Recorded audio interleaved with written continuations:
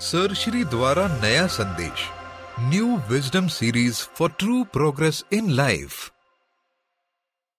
प्यारे मज़बूत खोजियों, आप सबको शुभेच्छा हैप्पी थॉट्स प्यारे मज़बूत खोजियों कहा तो क्या फीलिंग आई? और अगर कहा गया होता, प्यारे मजबूर खोजियों तो क्या फीलिंग आई होती थी? और यदि कहा गया होता था, प्यारे मजदूर खोजियों, आप सबको शुभेच्छा हैप्पी थॉट्स तो क्या फीलिंग आई होती थी? तो फ़र्स्ट मई को मजदूर दिवस मनाया जाता है। First May international workers day labour day श्रमिक वर्ग के लोगों के लिए मनाया जाता है labour day Maharashtra day May day तो happy labours day happy thoughts अब चुनाव करना है। हम कौन हैं ताकि हम कर पाएँ उन लोगों के लिए जो मज़दूर हैं? कर पाएँ उन लोगों के लिए कुछ जो मजबूर हैं? और क्या कर पाएँ? यह संदेश सुनकर डिसाइड करें। तो आपको बताया गया कि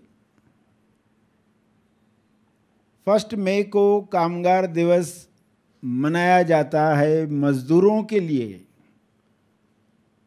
उनके लिए भी कोई सोचे और ये दिन कैसे निर्माण हुआ।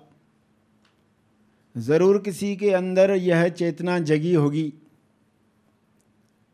और ऐसा ही हुआ है इतिहास में।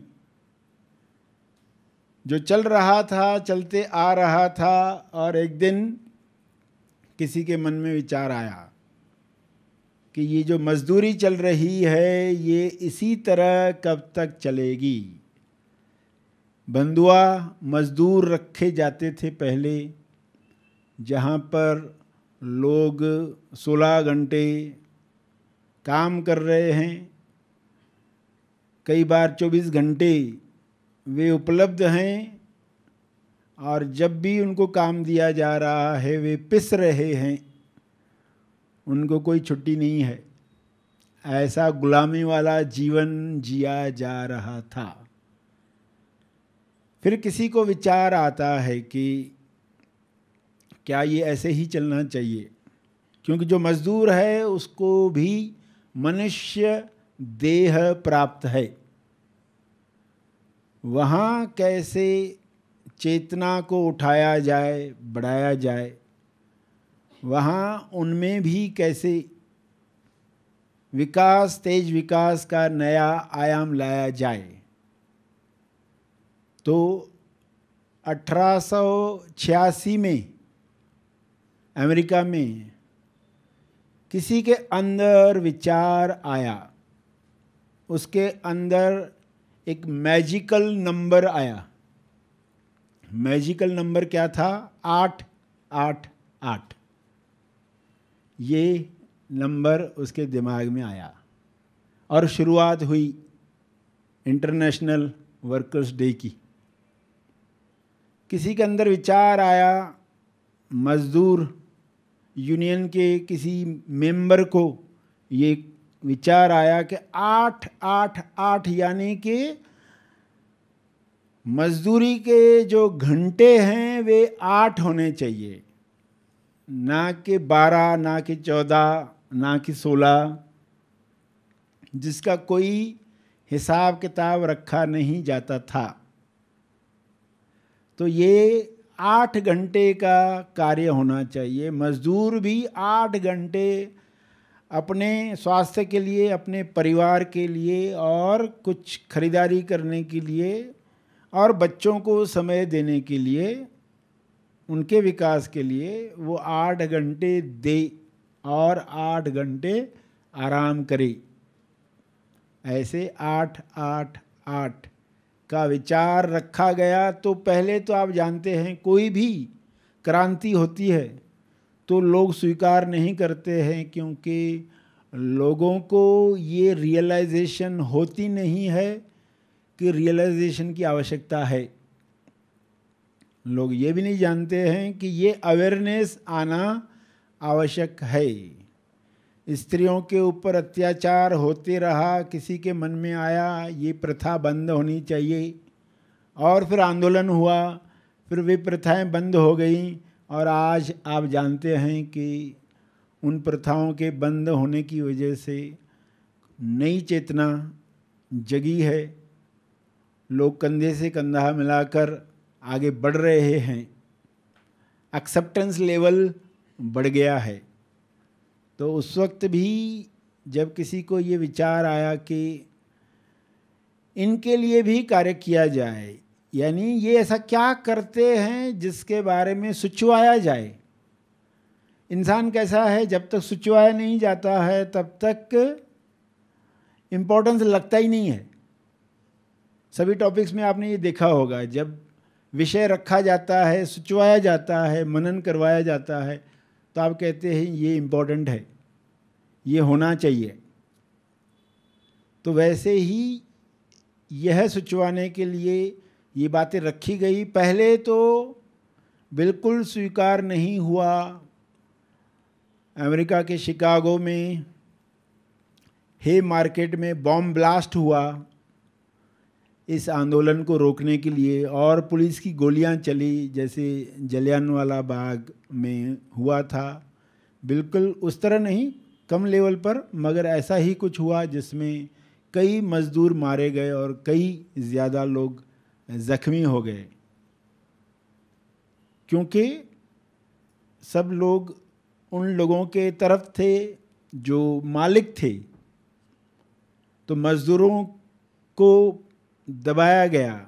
मगर आप जानते हैं कि जो चीज़ का समय आ जाता है संसार में, और जो चीज़ फ़ायदेमंद है, जो चीज़ लोगों की चेतना बढ़ाने वाली है, उसको कोई रोक नहीं सकता, डिले कर सकता है, रोक नहीं सकता। वो आश्चर्य है कि पूरे विश्व में कैसे फैल जाता है। किसी एक जगह कुछ होता है और हर जगह तक वह बात पहुँच जाती है। चाहे बीच में सालों समय लगता है, मगर वो आग पहुँच जाती है। तो भारत में भी 1923 में डिसाइड हुआ कि लेबर डे मनाया जाएगा, अवकाश दिवस रखा जाएगा, छुट्टी रखी जाएगी और लोगों से मनन करवाया जाएगा कि क्यों ये ज़रूरी है और इनके लिए क्या किया जाना चाहिए। इनको कैसे इंसाफ मिले। और जब कोई विशेष दिन आयोजित किया जाता है तो फिर कई रैलियाँ निकलती है, कई भाषण होते हैं, कई लोग मंच पर एकत्रित होते हैं और विचारों का आदान प्रदान होता है और लोग फिर कुछ छूट देते हैं, कुछ ऐसे आयोजन करते हैं कि इन लोगों का भी विकास होना चाहिए। इन लोगों का अंत बुढ़ापे में ऐसा बदतर नहीं होना चाहिए।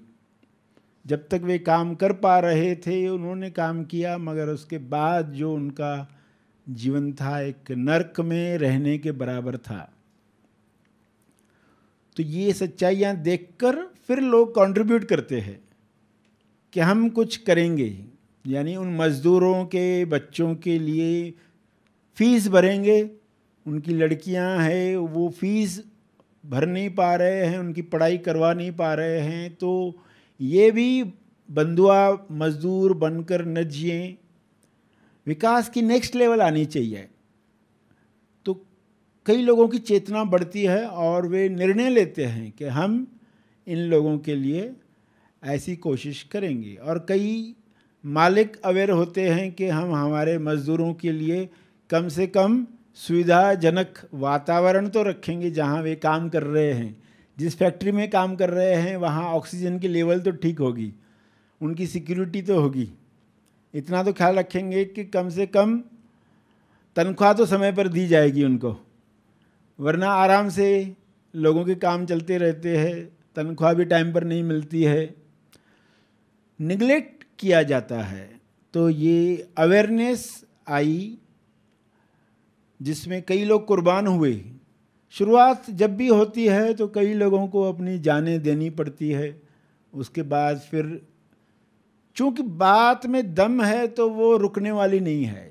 अस्सी से ज़्यादा मुल्कों में ये डिसाइड हो गया कि ये दिन अवकाश का रखा जाएगा और आप ये दिन मनाने जा रहे हैं, मना रहे हैं तो आपको पता होना चाहिए कि क्या था उसके पीछे। 1923 में भारत में, चेन्नई में ये हुआ लेबर किसान पार्टी के द्वारा गवर्नमेंट से भी अप्रूव हुआ। तो अगर ये 1923 में हुआ था तो आज कितने साल पूरे हुए? आज सौ साल पूरे हुए। तो आज आप उस मुकाम पर हो। हालाँकि अठारह में ये शुरू हुआ था। ये आने में इतने साल और लगे भारत में। तो इसी तरह अलग अलग मुल्कों में चाहे बीच में तीस साल, चालीस साल, पैंतालीस साल गए, मगर चूँकि ये बात सेल्फ चाहता है, सेल्फ उच्चतम विकसित समाज की तरफ़ बढ़ रहा है, लगातार विकसित चेतना होगी तो लोग कैसे जिएँगे? बाय डिफ़ॉल्ट लोगों में ये भावना आएगी। और जो डर होते हैं कि ये फिर हमारे सिर पर बैठ जाएँगे, फिर ये होगा, फिर यूनियन लीडर्स बन जाएँगे, फिर ये कई तरह के डर भी होते हैं। मगर अल्टीमेटली जिस चीज़ का समय आया है, वो होने लगती है। तो एक घटना ने उस चीज़ को खोल दिया पूरे विश्व के लिए। कई बार घटनाएँ होती हैं तो हमें लगता है बुरा हुआ बुरा हुआ। ये नहीं होना चाहिए था। मगर उस दुख ने कुछ क्रिएट किया होता है। सेल्फ के लिए अगली लेवल इंपॉर्टेंट है। उसमें कई एम एस आते हैं, जाते हैं विश्व से। पता भी नहीं रहता है। लोग इस तरह जीकर चले जाते हैं। मगर कार्य सेल्फ का चल रहा है। ये जब पक्का होगा तो फिर आप क्या सहयोग कर सकते हैं, उसमें सहयोग करते हैं। तो इसमें इन मज़दूरों के लिए क्या संदेश आज का है? आज का संदेश क्या है कि मज़दूर को दूर नहीं, मज़दूर को मज़बूत करो। मज़दूर को दूर नहीं, मजदूर को मज़बूत करो। मजदूर को मजबूर नहीं, मज़बूत करो। ये संदेश है फ़र्स्ट मे का संदेश कि मज़बूत करना है और मज़बूत जो करना चाहते हैं, उनको पहले खुद मज़बूत होना पड़ेगा। इसके लिए आज जो बातें हो रही थी आप कितने मज़बूत हो ताकि आप लोगों को सहारा दे पाओ, उठा पाओ और विकास की नेक्स्ट लेवल पर जो निर्माण होना चाहता है, वो हो पाए। सेल्फ की इच्छा पूरी हो।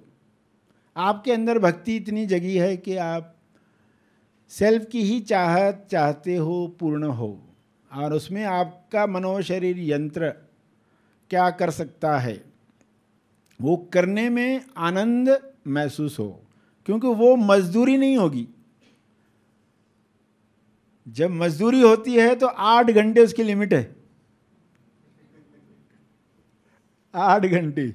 मगर जब अभिव्यक्ति है तो कोई लिमिटेशन नहीं है। आठ घंटे की कोई लिमिटेशन नहीं है। क्योंकि वो आनंद दे रही है। तो ये बात समझें कि क्या इम्पोर्टेंस है मजदूर का? मजदूर न होते तो क्या होता था? एक इंसान ने ईश्वर से प्रार्थना की और दिल से की और कहा, है ईश्वर, मेरा इंटेंशन कितना प्योर है? मैं अपने लिए नहीं चाहता हूँ। मैं चाहता हूँ कोई भी मजबूर न रहे, मजदूर न रहे, कोई भी परेशान न रहे और परेशानियाँ दिख रही हैं तो पैसे की तंगी की वजह से दिख रही हैं। तो आप तो सब कुछ कर सकते हो तो ऐसा कुछ करो कि पेड़ों में ही सोने सोने के सिक्के पैदा हों। जैसे ना अमरूद के पेड़ होते हैं, आम के पेड़ होते हैं, वैसे डॉलर्स के सोने के सिक्के जिसमें पैदा हो रहे हैं। मनी प्लांट ऐसा है जिसमें सोने के सिक्के उग रहे हैं। तो उसमें कितना आसान हो जाएगा, पूरा संसार कितना खुश हो जाएगा। उसने ईश्वर को कहा, ये मैं दिल से प्रार्थना कर रहा हूँ।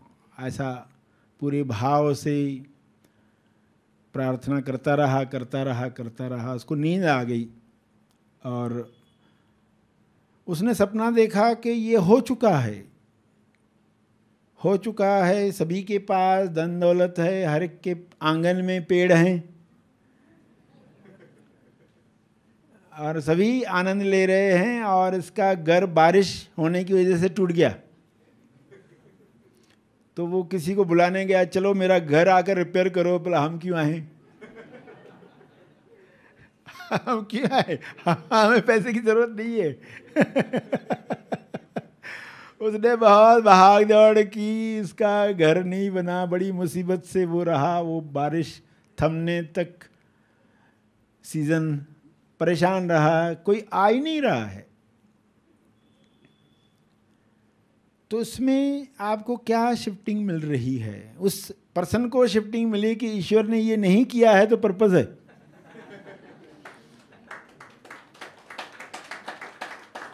ईश्वर के लिए ये डिफ़िकल्ट नहीं है कि हर मुल्क में वहाँ की करेंसी के हिसाब से पेड़ उगे। अमेरिका में डॉलर्स उग रहे हैं। चाइना में चाइना की करेंसी उग रही है। ये हो जाएगा। मगर फिर विश्व का क्या होगा? आज जो आप खूबसूरती देखते हो, ताजमहल की डिलीवरी कैसे हुई? डिलीवर कैसे हुआ? जैसे माँ होती है, वो प्रसव पीड़ा भुगतती है। तो स्वामी विवेकानंद जैसा एक बालक पैदा होता है। श्री अब्दुल कलाम जैसा कोई पैदा होता है। पीटी उषा पैदा होती। अलग अलग आप देखते हो कि माँ ने पीड़ा सही और कुछ हुआ। तो ताजमहल कहें पिरामिड्स कहें, या विश्व के सब आप देखो, अजूबे, जो आप इतने बड़े बड़े बिल्डिंग्स देखते हो, समुंदर के बीच में भी टावर्स बने हैं। तो ये कैसे डिलीवर हुए? किसने ये पीड़ा सही? लेबर पेन किसने सहे? लेबर पेन सहने वाले कौन लोग थे? ये मजदूर लोग ही थे। इन्होंने मिलकर ये प्रसव पीड़ा सही है। मिलकर डिलीवरी दी है। और आज आप ये देखकर पूरा वर्ल्ड घूमते हो। मगर उसके पीछे क्या हुआ होगा? किन मज़दूरों ने दिन रात काम किया होगा? और ये अगर होते ही नहीं थे इनको कोई ज़रूरत होती नहीं थी। तो विश्व में कितने इमारतें आपको दिख रही होती? और आपको एक बिल्डिंग दस बीस माले की बनाने को कहा गया होता। तो सोचो आपकी हालत क्या होती थी? फ्रस्ट्रेशन की क्या हाइट होती? कि ये बिल्डिंग बनाओ। तो देखो, जब मनन करवाया जाता है तो आपको थोड़ा क्लिक होता है कि ये मजदूर हैं, इसलिए विश्व में एक खूबसूरती तैयार हुई है जो रास्तों से आप गुजरते हो। आपने मजदूरों को काम करते हुए देखा है? सड़क पर कड़क धूप में उनको हथौड़े चलाते हुए लगातार धूप में काम करते हुए देखा आपने? और आप बारिश के सीज़न में भी रास्तों पर अपने वाहन चला रहे हैं, पुल्स फ्लाईओवर्स सब यूज़ कर रहे हैं।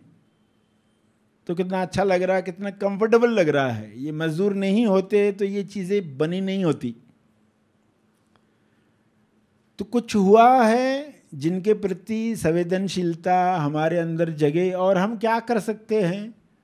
उनके लिए घर पर नौकरानी आती है, उसके लिए हमारे क्या भाव होते हैं? क्या हम धन्यवाद दे पाएँगे उनको। जब मनन होता है तो हम धन्यवाद देते हैं। उनको किस वे में हेल्प कर सकते हैं? उनके बच्चों की पढ़ाई के लिए क्या कर सकते हैं? ऐसा कुछ हो सकता है क्या? जब आप ये सब बातें सुनते हो तो लगता है कि ये सब लोगों के सहयोग की वजह से दुनिया दिखने लायक है। वरना कंफर्ट्स जो आज इंसान एंजॉय कर रहा है, जो पुराने समय में राजा महाराजा एंजॉय करते थे, वो आज एक कॉमन पर्सन एंजॉय कर रहा है। उसके पास वो सब सहूलियतें हैं, वो मोबाइल पर देख रहा है नृत्य, वो अपनी दरबार सजा रहा है, वो आनंद ले रहा है, खाने खा रहा है, मंगा रहा है, इधर से मंगा रहा है, उधर से मंगा रहा है।